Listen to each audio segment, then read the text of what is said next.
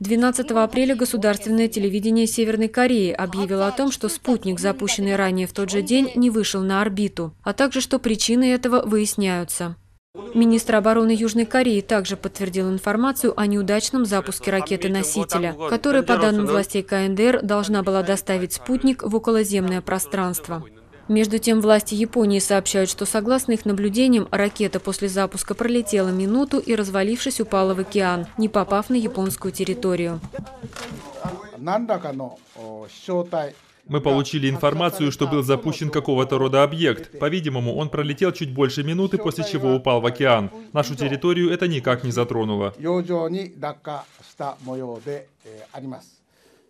Северная Корея заявляла ранее, что с помощью ракеты «Млечный путь-3» она планирует запустить на орбиту метеорологический спутник. Однако другие страны уверены, что это, как и в 2009 году, испытание баллистической ракеты.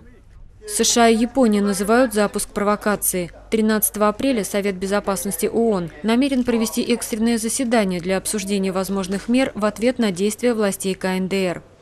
Тем временем власти Филиппин объявили, что территории, над которыми предположительно должна была пролететь ракета, вновь открыты для мореходства и полетов.